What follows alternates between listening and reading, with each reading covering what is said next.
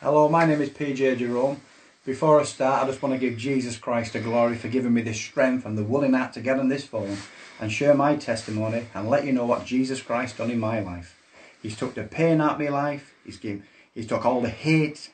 He's took all the bitterness, all the bad things what's gone on as a child. He's took it all away and filled it full of happiness and filled it full of joy and filled it full of peace and love what I've got from other people.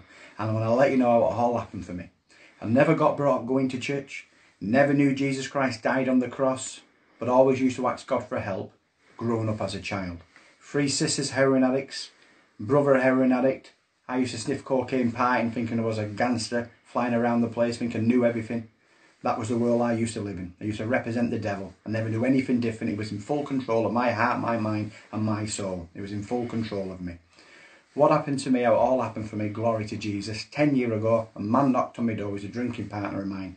Knocked on the door, him and another lad called Jimmy. He says, PJ, said, I've turned a born again Christian. I looked at him, I couldn't stop laughing at him. I went, you've lost the plot.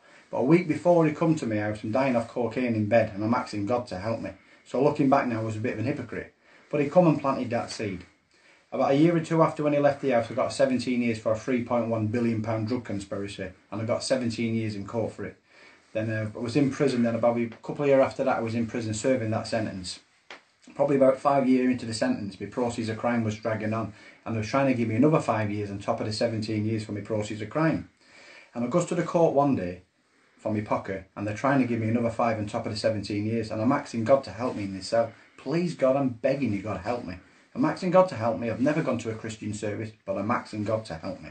I walked up to court, didn't get the extra five years. On the back of the sweat, I'm going back to the prison. I'm going, thank you, God, I didn't get that prison. That would have killed me.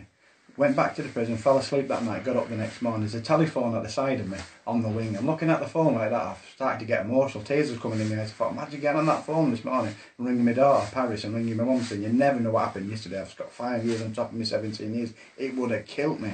And I went, thank God I didn't get that jail. Then God put a thought in my mind. He went, PJ, I want you to go up to that church this Sunday.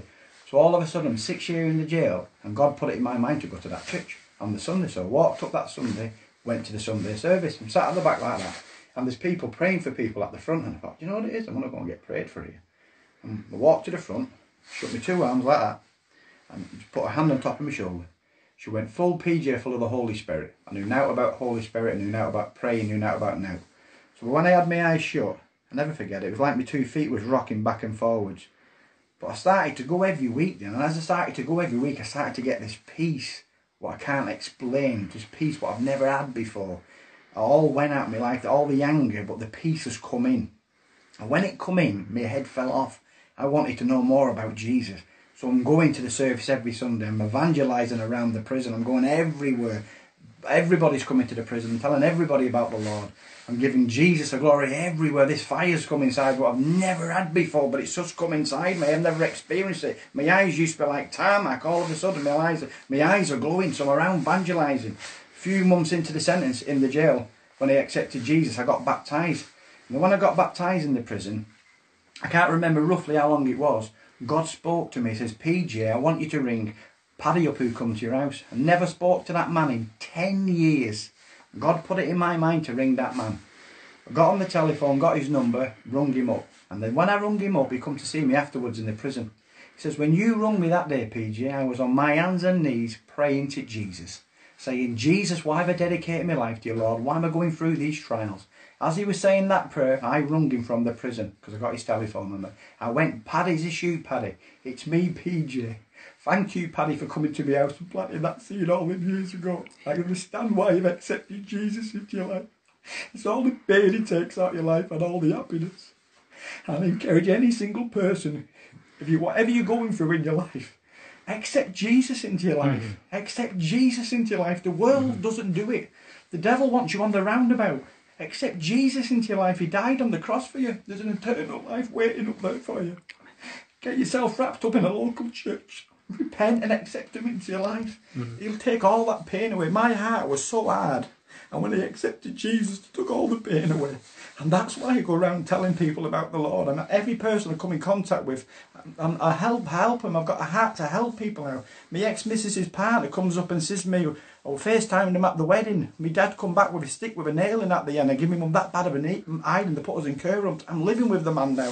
We've got nothing but love, but that's what God does. He takes all that things, what goes on in your life, what all gets put down into a bin. The Lord takes it all out. He takes it all out. He repairs you inside. He loves you. He's God's only son who died on that cross for the sins of the world.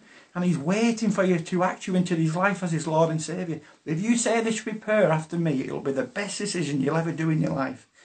I've decided to accept Jesus Christ into my life as my Lord and Saviour. I want to accept you, Jesus. You died on that cross for my sins. I want to accept you into my life as my Lord and Saviour, Lord. And I want to ask for forgiveness, Jesus, for all the things I've done wrong against you, Lord. And I commit my life fully to you, Lord. And I accept you into my life as my Lord and Saviour. Amen. Amen.